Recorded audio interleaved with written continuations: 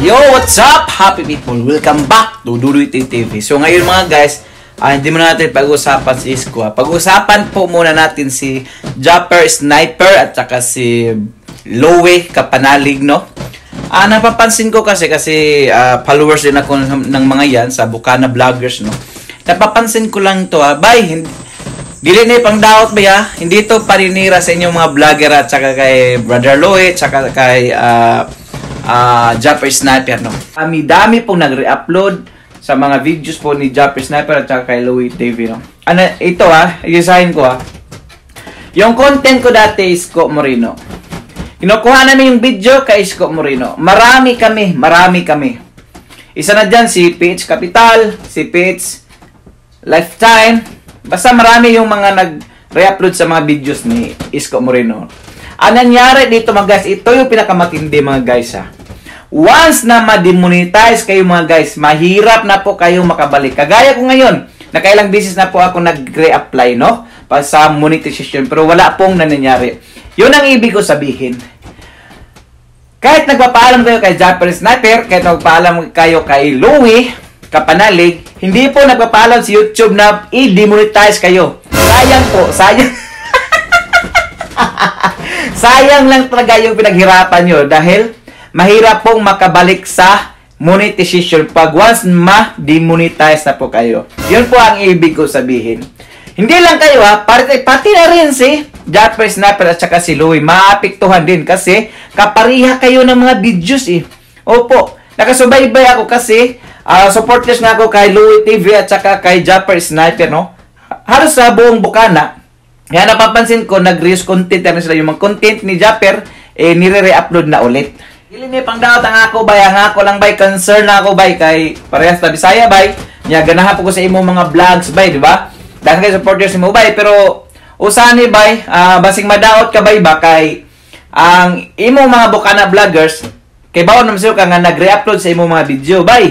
Mo na yung ginabuhat bay kay Isko Moreno nagre-upload mi bay pero ana hitabo bay na demonetize kami bay di lang di lang ako bay ha daghan mi. Isa tong giignan ako gay na si PH Capital, si PH Lifetime, daghan mi si John Moreno, daghan mi ana nagre-upload. Ana hitabo ana bay ang uban uh, na kuang gyud na take down channel. Ang ako na demonetize santo drone kapila ko nag kapila na ko nagre-apply walay nahimo bay. Mo na delikado bitaw ba nga grabing lisuda kayo ba nagpakahirap tayo gumawa ng content tapos si eh, ganun-ganun lang uh, child's experience nito sa akin mga guys no? kasi nakikita ko eh at saka kawawa naman si ano si Japanese Sniper saka si Louie no kung madadamay sa uh, mawalan po ng monetization hindi po malayong mang, hindi po mal, malayong mangyari yan kasi nangyari na ngayon sa akin eh. Eh bay, tambal rin ako bay, di ni pang daot bay ha. Concern ko si Muha bay, bra- brother Louie, uh, Japper Sniper. So, dirira ko. Uh, kay na mo sa mga Bukana vloggers kung kinsa mo nagre-upload, okay? Bisa pag nagpahibalo mo na nananghid mo ni Japanese Sniper pero si YouTube dili mananghid nga i-demonetize mo. Oh, mo na dali pagkasulti. okay? At dagdag ko lang to uh, Idol Japper ah, uh, kahit kay Louie TV ah. According to YouTube guidelines ngayon, ay kailangan din niya yung facial recognition para makilala niya na ikaw talaga yung may-ari ng channel mo. Okay, once ninyo na maka-demonetize. At isa pa, si YouTube ngayon sa bago niyang guidelines, na pwede na siyang maglagay ng advertisement sa kahit sa anong channel na hindi pa nakakuha ng 1,000 subscribers and 4,000 4,000 watch hour.